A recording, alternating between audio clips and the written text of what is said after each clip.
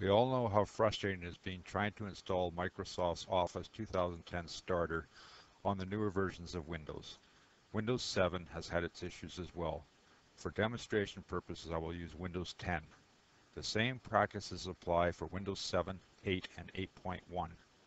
Microsoft has changed the default settings within the internet connection and in turn has blocked the installation of the necessary files for Office Starter 2010.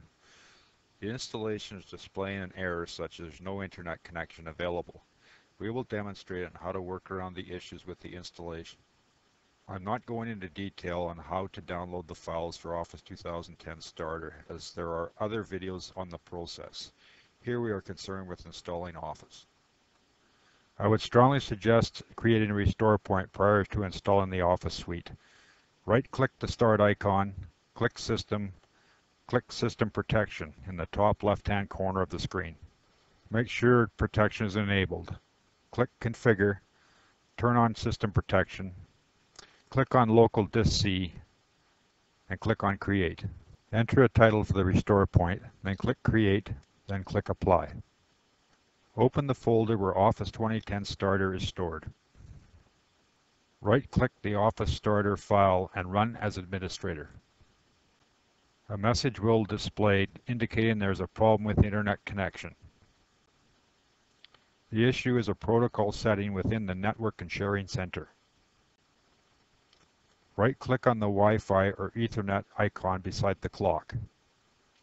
Click on the Network and Sharing Center.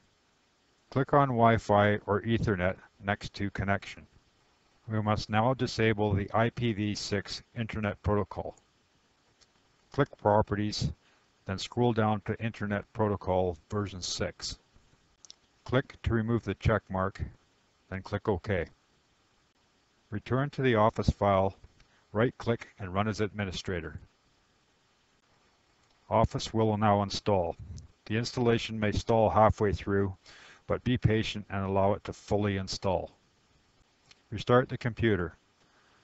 To locate Word or Excel, click the Start icon then click All Apps, and then click on a letter. If you have a newer version of Windows 10, just click on a letter.